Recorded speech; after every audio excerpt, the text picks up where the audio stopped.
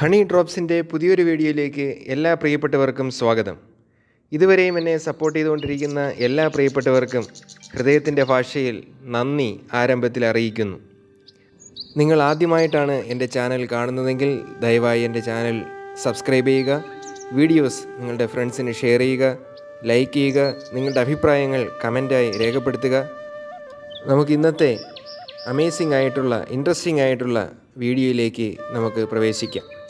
ഇന്ന് മാർച്ച് ഇരുപത്. ലോക അങ്ങാടിക്കുരുവി ദിനം. ഭൂമിയിലെ ഏറ്റവും സർവവ്യാപിയായ ജീവജാലങ്ങളിൽ ഒന്നാണ് പക്ഷികൾ. ഒരു കാലത്ത് ലോകമെമ്പാടും ഒരു സാധാരണ പക്ഷിയായി നാം കണ്ടിരുന്നതാണ് അങ്ങാടിക്കുരുവികൾ. എന്നാൽ ഇന്ന് അവ വംശനാശ ഭീഷണിയുടെ വക്കിലാണ്. നമുക്ക് ചുറ്റുമുള്ള പരിസ്ഥിതിയുടെ തുടർച്ചയായ അപജയത്തിന്റെ സൂചകമാണ് അവരുടെ തകർച്ച. അതിനാൽ വംശനാശത്തിന്റെ വക്കിലുള്ള അങ്ങാടിക്കുരുവികളെക്കുറിച്ചും മറ്റ് വംശനാശ ഭീഷണി നേരിടുന്ന പക്ഷികളുടെ സംരക്ഷണത്തെക്കുറിച്ചുള്ള അവബോധം സൃഷ്ടിക്കുന്നതിനുമാണ് മാർച്ച് ഇരുപത് ലോക അങ്ങാടിക്കുരുവി ദിനമായി ആചരിക്കുന്നത്.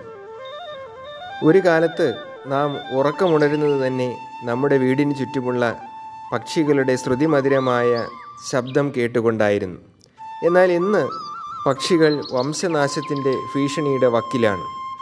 കുരുവികൾ ഒരു ഓർമ്മ മാത്രമാണെന്ന് പറയേണ്ടിയിരിക്കുന്നു.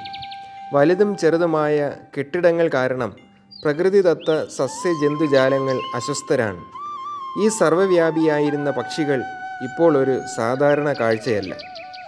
ആദ്യത്തെ ലോക അങ്ങാടിക്കുരുവി ദിനം രണ്ടായിരത്തി പത്ത് മാർച്ച് ഇരുപതിന് ആചരിച്ചു.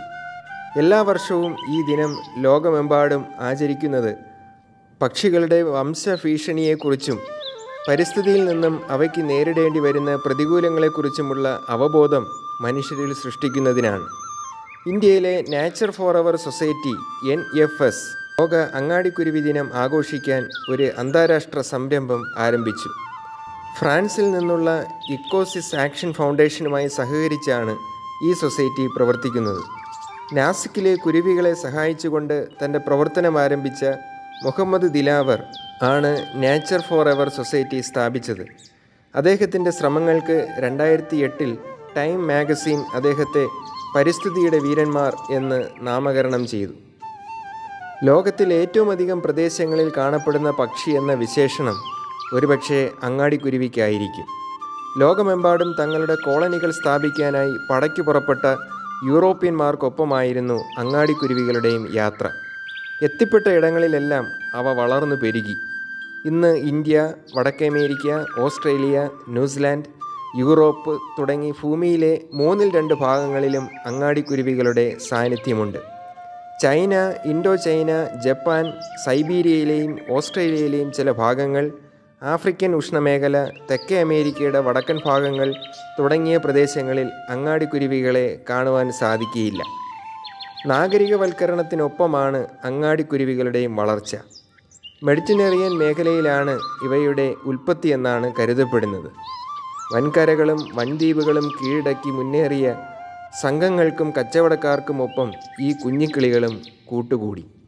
അവയ്ക്ക് ആവശ്യമുള്ള ഭക്ഷ്യസാധനങ്ങൾ സുലഭമായി ലഭിച്ചു.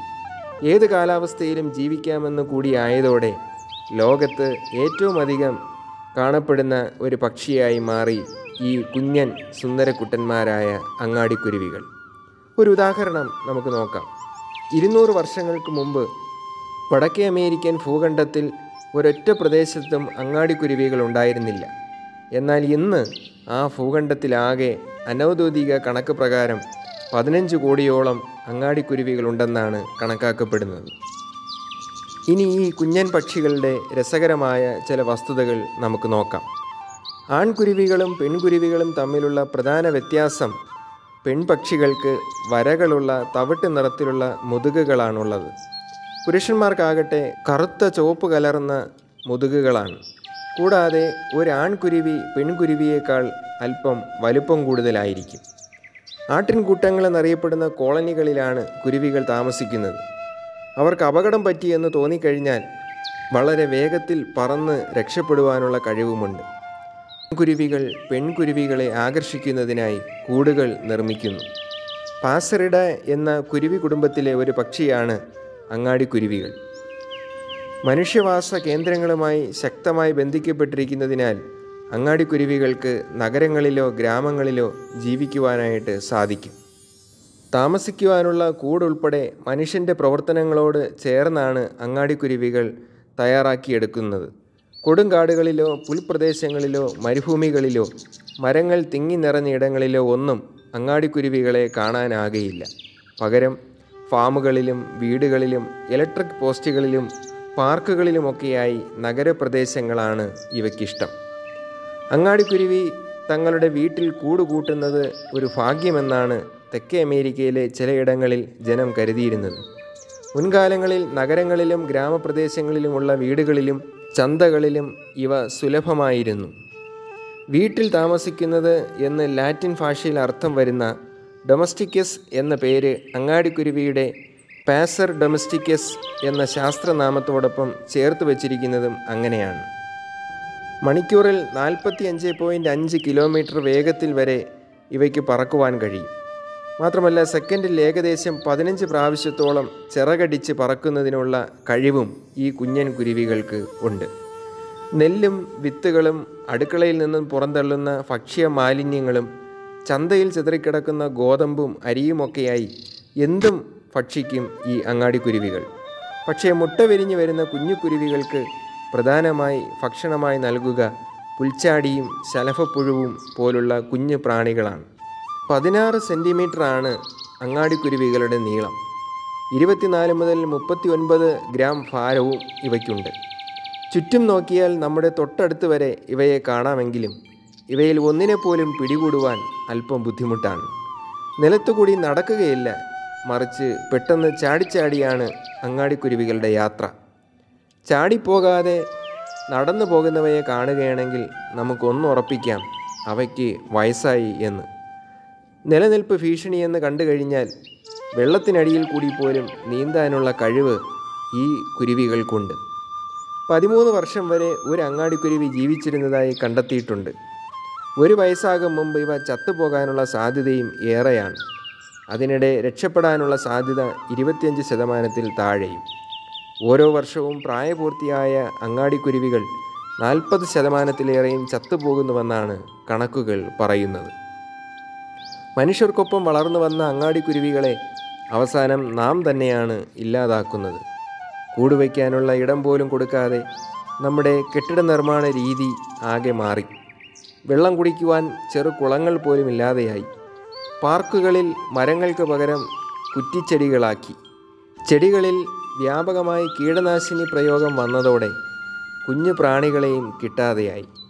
ഭക്ഷ്യവസ്തുക്കളെല്ലാം പ്ലാസ്റ്റിക്കിൽ പൊതിഞ്ഞുകെട്ടി സൂക്ഷിക്കാൻ തുടങ്ങി. മാത്രമല്ല അവ വലിച്ചെറിയുമ്പോൾ പോലും അത് ഭദ്രമായി പ്ലാസ്റ്റിക്കിൽ പൊതിയുന്നു. മനുഷ്യൻ ജീവിതശൈലി മാറ്റിയതോടെ പിടിച്ചു നിൽക്കാനാകാതെ അങ്ങാടിക്കുരുവികളും തളർന്നു തുടങ്ങി.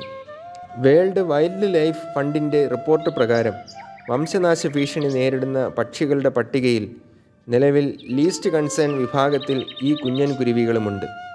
പക്ഷേ ഓരോ വർഷവും അങ്ങാടിക്കുരുവികളുടെ എണ്ണം കുറയുകയാണെന്നാണ് ഇവിടെ കേരളത്തിൽ നിന്ന് പോലുമുള്ള റിപ്പോർട്ടുകൾ. വംശനാശത്തിന്റെ വക്കിലുള്ള ഈ പക്ഷികളുടെയും മറ്റ് വംശനാശ ഭീഷണി നേരിടുന്ന മറ്റ് പക്ഷികളെയും സംരക്ഷിക്കുന്നതിനായി ജനങ്ങളിലും രാജ്യങ്ങളിലും അവബോധം വളർത്തുന്നതിനായിട്ടാണ് എല്ലാ വർഷവും നമ്മൾ മാർച്ച് ഇരുപതിന് ലോക അങ്ങാടിക്കുരുവി ദിനമായി ആചരിക്കുന്നത്. ഈ രണ്ടായിരത്തി ഇരുപത്തി മൂന്നിലെ ലോക അങ്ങാടിക്കുരുവി ദിനത്തിന്റെ തീം എന്നത് ഐ ലവ് സ്പാരോസ്. ഞാൻ അങ്ങാടിക്കുരുവികളെ സ്നേഹിക്കുന്നു. അഥവാ ഞാൻ പക്ഷികളെ സ്നേഹിക്കുന്നു. ഈ ഇൻഫോർമേറ്റീവ് വീഡിയോയും നിങ്ങൾക്ക് ഇഷ്ടമായെന്ന് ഞാൻ വിശ്വസിക്കുന്നു. തുടർന്നും ഇതുപോലുള്ള അമേസിംഗ് ആയിട്ടുള്ള ഇൻട്രസ്റ്റിംഗ് ആയിട്ടുള്ള വീഡിയോയുമായി വീണ്ടും കണ്ടുമുട്ടും വരെ. എല്ലാവർക്കും നന്ദി നമസ്കാരം.